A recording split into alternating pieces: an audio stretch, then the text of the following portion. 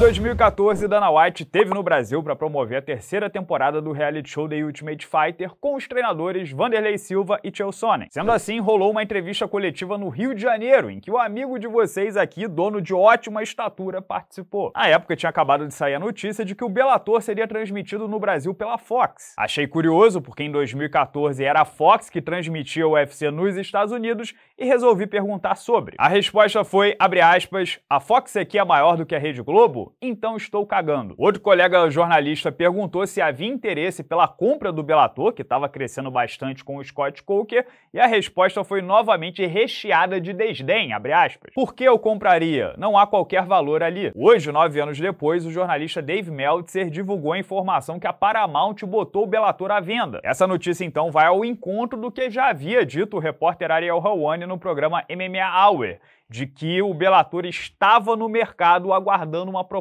justa. Só que agora as conversas estão mais sérias e segundo Todd Atkins aqui no YouTube, a PFL está muito próxima de fechar um acordo para 2024. Brandon Loughnane, campeão peso-pena da PFL, já até reagiu excitado à notícia, imaginando como seria a unificação de cinturões entre ele e Patrício Pitbull. Bom, vamos lá. Em primeiro lugar, por mais que a PFL tenha conseguido de forma bem sucedida levantar capital rodada após rodada de investidores, se a Endeavor, dona do UFC, avaliada em 20 bilhões de dólares, decidir comprar, não há nada que eles possam fazer. Só que aí a gente volta para aquela frase que Dana White disse a mim na coletiva de imprensa. Para que eles comprariam se entendem que não há valor? Claro, pode ser apenas trash talk do tio Dana para diminuir o principal concorrente, quando na verdade ele acha que tem valor. Não seria a primeira vez que algo do tipo aconteceria. Mas a declaração faz algum sentido sim, porque o Bellator de fato tem grandes lutadores, craques, que seriam top 3, talvez até campeões do UFC. Pat Mix, Kyoji Horiguchi, Sérgio Pettis, Patrício Pitbull, AJ McKee,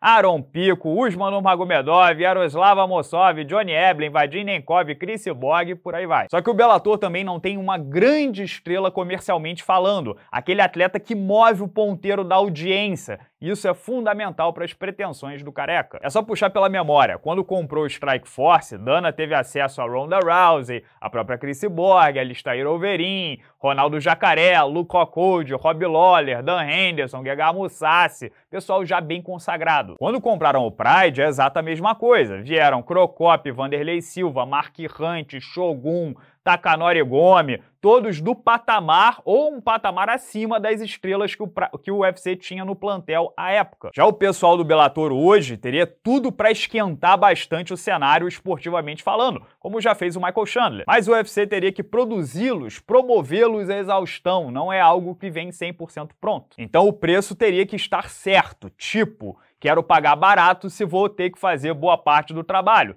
aí talvez a Paramount não considere essa a tal oferta justa. Sem contar que por lá tem muita gente em posição de destaque que o próprio UFC abriu mão, deixou ir embora no passado, como o Ryan Bader, campeão dos pesados, Phil Davis, Corey Anderson, Gegard Mousasi, Joel Romero, pessoal mais envelhecido. Só que aí entram dois detalhes muito importantes para essa negociação. O primeiro é que a Endeavor acabou de comprar parte do WWE, o maior evento de telecat do mundo, então eles podem estar ligeiramente descapitalizados capitalizados no momento. Mas tem o outro lado da moeda, porque se a PFL compra o Bellator, nasce um concorrente fortíssimo para bater de frente com o UFC a partir de 2024. Será que Dana White permitiria isso? O valor pode residir exatamente aí, de impedir o nascimento de uma grande força contrária e manter o monopólio. Imagina só a PFL com Jake Paul estreando no MMA contra Nate Diaz, é, Cyborg versus Kyla Harrison, Patrício Pitbull no torneio dos penas com Brandon Loughnane, Aaron Pico e companhia, pode ter também o Francis Enganou, daria muito trabalho. Admito que aí entra um pensamento desejoso forte meu.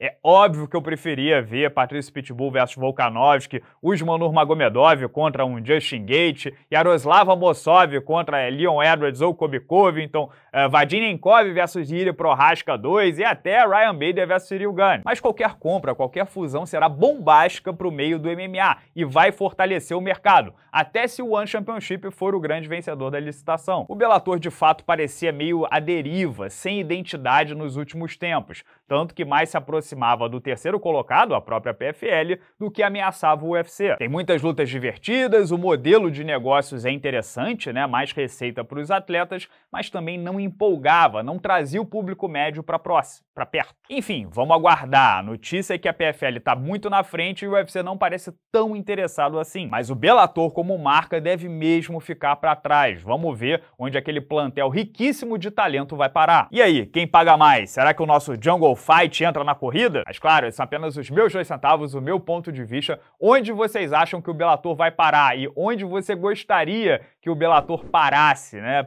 Pensa aí nos casamentos, eu acho que vocês vão concordar comigo, mas comentem livremente aqui embaixo no vídeo, se inscrevam no canal para não perder nenhuma resenha, se puder clicar na mãozinha positiva aqui embaixo, em um segundo você ajuda demais a gente a ser recomendado pelo YouTube no menu lateral. E não percam também a resenha de ontem à noite, em que eu falei sobre a possibilidade de Francis Enganou versus Marcos Bochecha no One Championship, né? Possibilidade bem real se ele fechar nesse sábado com o evento de Singapura. Para entender tudo, você clica no link aqui de cima e confere. Um grande abraço a todos, obrigado pela audiência de sempre e até amanhã.